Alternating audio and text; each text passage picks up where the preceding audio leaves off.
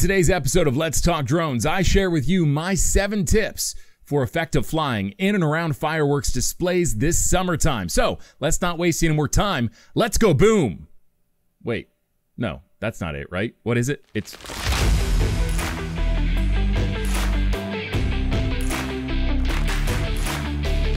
What's up? It's Chris the Drone Geek, and welcome to another episode of Let's Talk Drones. Let's Talk Drones is brought to you by The Droning Company, the number one online resource for commercial remote pilots worldwide. Make sure you check them out on YouTube by searching The Droning Company. Lots of great content there on YouTube.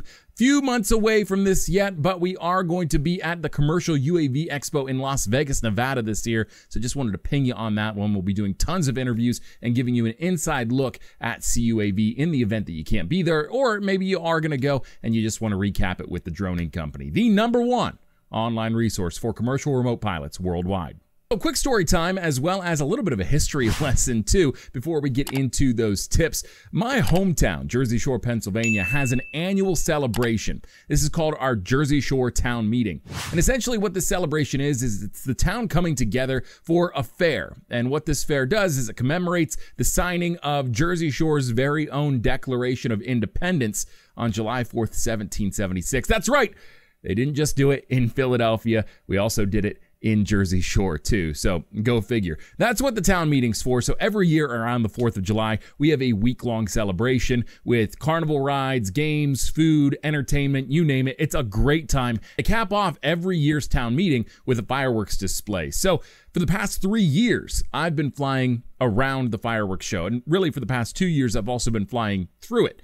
The first year back since moving from Lancaster, Pennsylvania, I just sort of flew my drone sort of incognito, kept a safe distance, and just respected the operation itself and got some wide shots of what was going on with the fireworks displays. But after that first year, I thought, you know, I want more. And I just learned how to fly FPV well enough that I felt confident putting my drone in the air for a fireworks display. So I approached the folks that are responsible for the fireworks show and I asked them, hey, w- would it be cool if I flew my drone like through the fireworks as you were launching them? And the only question they had for me is, is it cool if your drone get, gets hit by one? And I said, well, I'm going to try my best not to do that. So yeah, I, I guess I can agree to you guys not being liable in the event that my drone gets hit by a firework. And once we sort of had that squared away, uh, you know, the rest is sort of history at this point. For the past two years, I've been doing some up close and personal flying through the fireworks show here in Jersey Shore, Pennsylvania. Now, since flying through them, not just around them, I've learned a few things, and I'm here to share some of those tips with you. It's a completely different experience flying around not just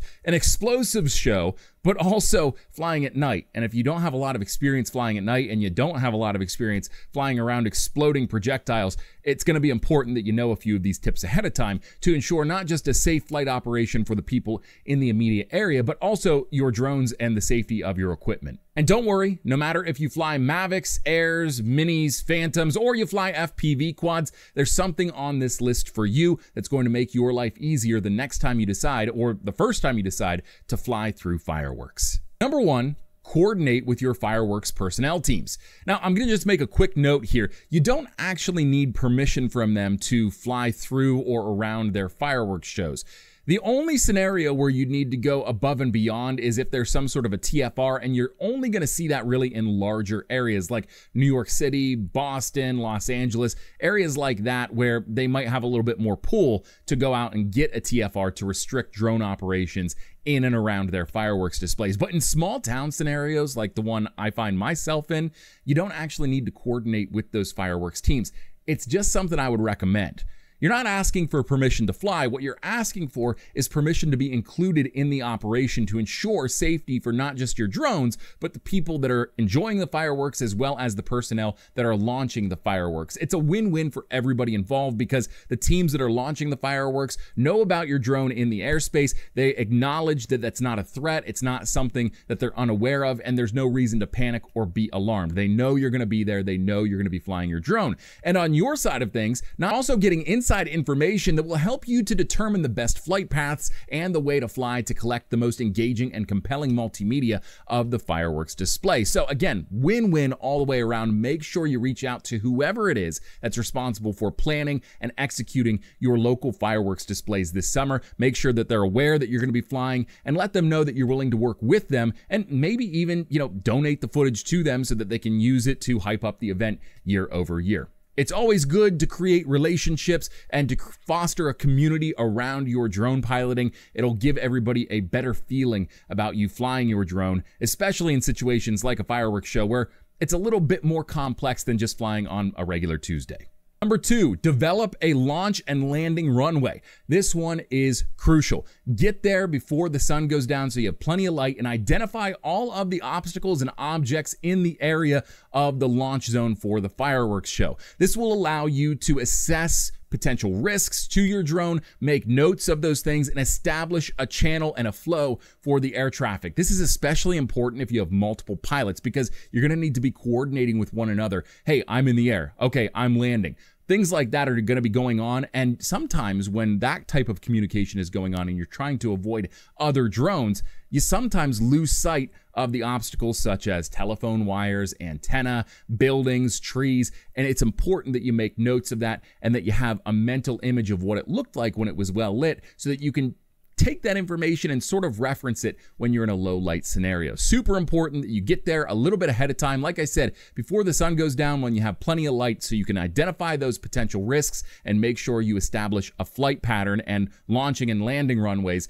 that allow you to safely launch and land your drone. Number three, properly equip your drones. When it comes to staying compliant with the FAA, there are two pieces of equipment that we need to make sure that our flights are kosher. The first one has to do with the fact that we're flying at night. We will need anti-collision lighting that is visible for up to three statute miles. So you're going to need this to be able to strobe as well. You'll need to have that attached to your drone and on during the entire course of your flight. When you land the drone, you can turn it off, swap out batteries, swap out lights, whatever you need to do. When your drone is in the air and it's after dark in low light conditions, you need to have that anti-collision lighting on and flashing so that other aircraft in the airspace, whether it's manned or unmanned, can see it and navigate around it. The second piece of equipment that you're going to need to stay FAA compliant is remote ID. I know this is a touchy subject and there are a lot of you out there that are pushing against it and I get it. Believe me, I get it.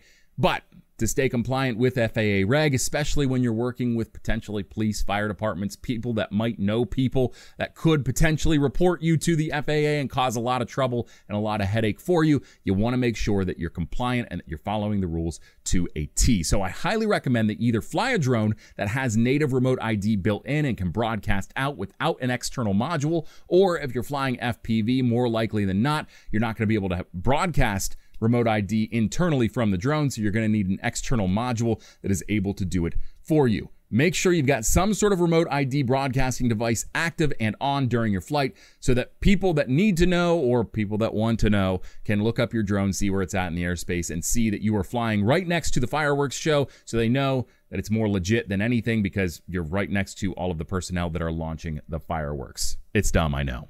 And while those two components are the required pieces of equipment for flying your drone during a fireworks display, you may find other pieces of equipment are helpful as well. One thing that I really enjoyed using was the LED strips on my Pavo 20 while flying in low light conditions. It's not FAA compliant in that it doesn't replace anti-collision lighting, but what it does do is it adds another layer of visibility to the drone. So I can fly it out a little further having that very bright LED light strip around the outside of the drone. It's really bright blue and it's hard to miss in almost almost any circumstance, especially in low light where it contrasts so well off of a dark background. It was so helpful and made flying it so much easier. Number four, utilize beacon lights for easy orientation. Now, this goes for all pilots. This is not exclusive to your RTFs or your FPVs. You're all going to get benefit from this. Let's start with those RTF pilots though. When it comes to beacon lights, you're not really going to need to use them to orient the drone in terms of whether it's right side up or upside down. But what you will need is you'll need those beacon lights to make sure that you're staying in a designated flight path make sure that you understand where the drone's at in the airspace and which direction the drone is headed. And it also makes it a little bit easier to know where you need to go to land the drone when you get to the bottom of your battery. When it comes to FPV pilots, I'm going to level with you here. You're going to love having beacon lights set up because as you're doing your acro stunts, you're doing barrel rolls, you're doing power loops, you're doing a variety of different stunts in, around, and through the fireworks display, it is difficult when it's very, very dark to stay correctly oriented, meaning your drone's not falling out of the sky because it's upside down. So what you're gonna wanna do is set up some beacon lights, and that's what I did. I had a GVM studio light for my YouTube setup. In fact, I have one sitting right here. This is the actual light that I used. And I just cranked that thing up to the highest brightness level that it possibly had. I think it's 99. And I made sure that the light was bright white so it was easy to distinguish from external lighting on the buildings around the area. While I only had one light, I will say it was super helpful when it came to setting up my drones because I had plenty of light in the area that would have otherwise been dark, but it was also super helpful as I was flying the drone. I could reference that light and where it was at, and I'd know what orientation my drone was at. Was it off level when it comes to rolling? Was it off level when it comes to pitching? And how do I correct myself? That light was super helpful. It also gave me a beacon to return home to so that I could safely land in the area that I was in. It made my flight safer when it comes to landing. It also made my flights more efficient, meaning I could get the drone down and land it and swap batteries out and get it back in the air in a very timely fashion. So go out. It doesn't have to be anything special. It doesn't have to be a GVM studio light. Just get a light that is bright enough and effective enough to serve as a beacon that you can reference throughout the duration of your flight. Number five, understand wind speed and direction and how it affects the trajectory of the fireworks being launched. This is going to be super crucial to safe operations. Not only is it going to keep the people around the area safe, it's also going to keep your drone safe. If you understand what direction the wind is blowing and how hard it's blowing, it can help you to understand which direction the fireworks are going to tend to lean once they get up in the air. Because after they leave the projectile system that launches them into the air, it's up to the aerodynamics and the wind speed as to where the actual firework, the explosive, goes before it finally pops. Understanding the strength of the wind as well as the direction in which it is blowing will also help to assist the fireworks teams. Now, this year, I actually had them come to me. I pulled up my UAV forecast app and I was able to tell them the wind speed and the direction the wind was blowing, and that helped them to determine how they needed to orient the tubes that they launched the fireworks out of. They were super appreciative of it, and quite frankly, it helped everybody be on the same page as to where the fireworks were going to blow over to. Now, we didn't have a really strong wind this year during the fireworks, so it was sort of a non factor, but there was a slight breeze, and it did push some of the fireworks in a particular particular direction. I think it was to the northeast in that particular scenario. So, super important that you have knowledge of that. And it's also helpful if you provide that knowledge to the people you're working with, the fireworks personnel. Number six, establish a well lit landing zone. You will thank yourself for doing this ahead of time. Now, I had my beacon light, which also served as somewhat of a floodlight, and created a well lit area for me to land the drone in during the flights around the fireworks display, but I also established a secondary landing zone around the high school that was adjacent to the launch zone. It had plenty of exterior lighting and wide open sidewalks that I was able to land on. So it gave me quite a few options when it comes to landing the drone safely. It's important that you establish at least one well lit landing zone, but if you have a second one, that doesn't hurt either. And number seven, use a visual observer. Yes, that goes for you Mavic, Phantom, Air, Mini pilots as well. When you're flying in low light conditions, it does take away some of your awareness when it comes to what's going on in the airspace around you. It's harder to see, and with that decreased visibility comes increased risk. That's just a fact of life. So having somebody there, either one other person or maybe an additional person or even a third person that can serve as another set of eyes and help you to safely conduct your flight operation is super helpful.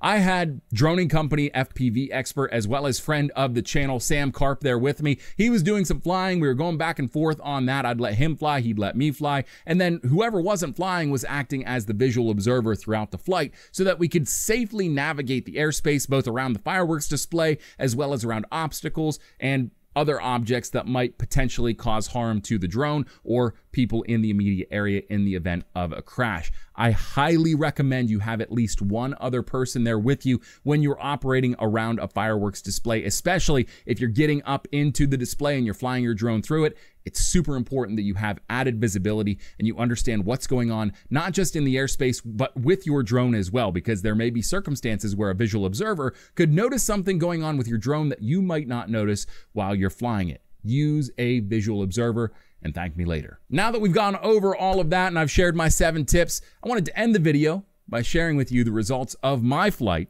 through the fireworks at the Jersey Shore Town Meeting 2024. If you like this video, make sure you hit the thumbs up icon down below. Helps me out a lot, helps get this video out into the algorithm to more viewers like yourself. If you love drone content made by drones, about drones, and for drone pilots, this is the channel for you. Make sure you get subscribed if you haven't already and hit that bell icon. You'll get a notification every time I post a new video. Until next time, I'm Chris the Drone Geek, and I'm out of here. Enjoy some fireworks.